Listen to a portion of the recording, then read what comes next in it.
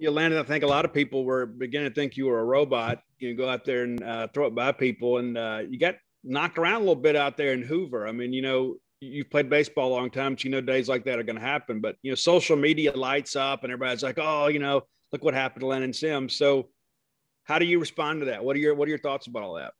Um, you know, right when I walked um, past, you know, the the third base foul line right there, um, it kind of just left my brain. Um, you know, baseball is a really, really, really tough sport. You know, it's the most humbling sport in the world.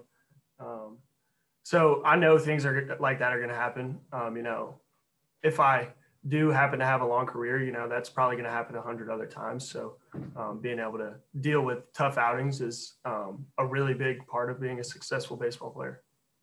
Kind of following up on that too, you've had those days before at some point, whether it be little league or high school or whatever how easy is it to flush that? Or does it just make you that much more intense? So you know i got to go out next time and really shut these guys down. I mean i know there's that, that fire in you to do that but how do you handle that? Um you know i wouldn't really say it's easy to flush it um but you know it's a it, it's a really bad thing to um, sit there and uh, let it marinate. Um so you know i usually watch uh, most of my outings uh, back on the tv um, and then you know that that last outing against Tennessee, I didn't even I didn't even think about watching that one. Um, you know, and it was in the SEC tournament, so I think it was a really good time um, for that to happen. Um, you know, it was bound to happen at some point. Um, but yeah, it, it's it's going to make me better down um, the stretch here in the postseason, and I'm ready to go. We'll swing it over to Joel Coleman next, and we'll go to Robbie. Joel, go ahead.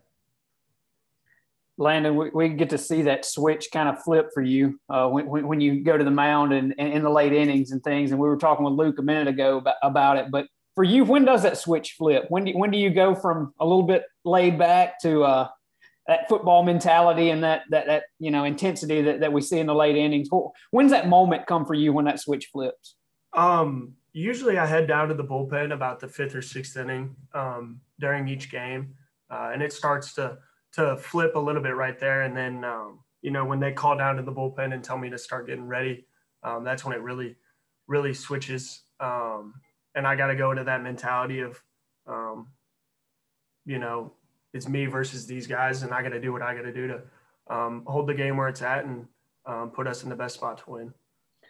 And I guess how do you channel that? Because I, would think there's a point where you want to have that football mentality, you, you want to be intense, but out there with the season on the line in front of 15,000 folks this, this weekend, I would imagine there's, you don't want to get too hyped. I imagine that could be a, a problem too. How, how do you kind of channel that to keep from, I guess, going over the edge a little bit? Um, I don't know how many of y'all remember, but my first outing last year, um, in front of how many ever fans were there, uh, I threw 11 pitches and I threw nine strikes or nine, nine balls. I threw two strikes and 11 pitches. Um, and coach Lemonis came out there and pulled me.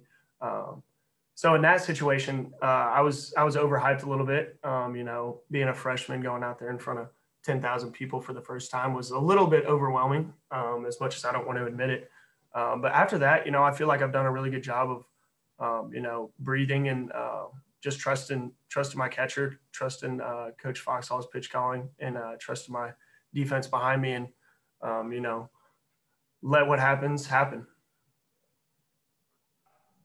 Robbie, go ahead. Landon, kind of talking about flipping the switch. I mean, you guys had a couple of days off after the SEC tournament, and you've had to flip that switch back into to preparation mode and getting ready for this regional. What have the last few days been like for you guys, and how focused do you feel like the team is heading into Friday's game? Um, I feel like we're really focused. Uh, you know, we had two days to flush the SEC tournament. You know, we we were over and done with that um, as soon as we got on the bus to head back to Starkville. Um, but those two days off, um, you know, just to just to lay back a little bit. You know, we lifted still, but um, we stayed um, off the field, and uh, I, th- I, think we're in a really good spot right now. Um, you know, we gotta we gotta come ready to play. These are these are three really really good teams, um, and we can't we can't take anything for granted here, and we gotta play really good baseball. And you kind of been through the wringer now in the SEC. I mean, you're not a freshman. You're not a freshman anyway. It's your second year, but first year in the SEC this is going to be your first regional, and I know the big atmosphere hasn't bothered you at all, but how excited are you to get out there and pitch in a, a situation like this in front of this kind of atmosphere? Um, you know, since the day I committed here, uh, back in my sophomore year of high school, I've just been watching these uh, watching these big moments uh, unfold here in Starkville. Um, you know, in 19, the regional and the super regional um, got me real fired up uh, for for these situations, and um, you know, being in those big situations here in a few days. Um, you know, that's that's what you that's what you come here for. Um, you know, you don't you don't want to go anywhere else in the country and uh, play in front of anybody else with anybody else. We'll go back to Steve. Steve, go ahead. Kind of piggybacking off that, Landon. It's, you mentioned your your first uh, appearance, and, and it was kind of forgettable, I guess, for most people. But for you, you'll probably never forget that. But when you go out there for the first time in front of all these people, and there's all these expectations, how much more important is to have those 13,000 people cheering for you instead of cheering against you? I mean, Mississippi State arguably has one of the best home field advantages in the country. Yeah, you know, that's huge um, for us. And we've talked about that, um, you know, how hostile of an environment that it's going to be, uh, you know, playing in front of 12, 13, 14,000 people um, here in Starkville. Um, and to, I mean, it's not easy to do being the home team, um, but uh, it, it's going to be even harder to do uh, being the away team, um, especially for, for all of our fans cheering us on. We've got time for a couple more for Landon. Again, utilize that raise your hand function. We'll go to Ellie. Ellie, go ahead.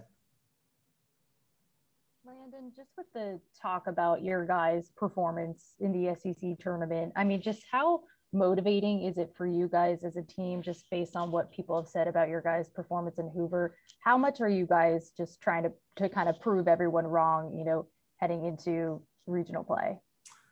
Um, you know, we try not to pay attention to what uh, you know people say about us, whether it's good or bad. Um, you know, we like to stay pretty even kill right there.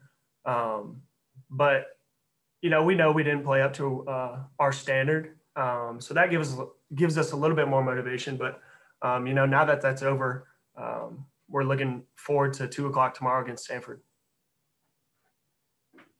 We'll wrap it up with Landon with Steve. Steve, go ahead. Landon, it, could it be a situation too where you guys can kind of flip the script a little bit? Maybe people are starting to doubt Mississippi State a little bit, you know, whereas before, maybe a month ago, people were thinking, man, these guys are impossible to beat.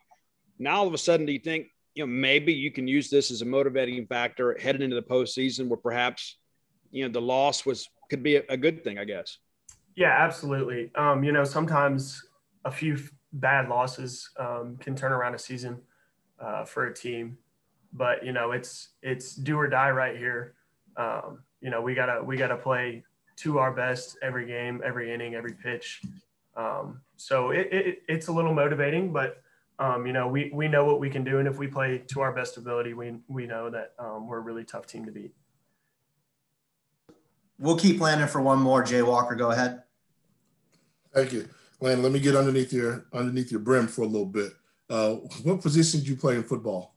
Uh, I played safety in high school. You miss it? Uh, yeah, I do a lot. Um, I talk about it all the time about how much I miss it.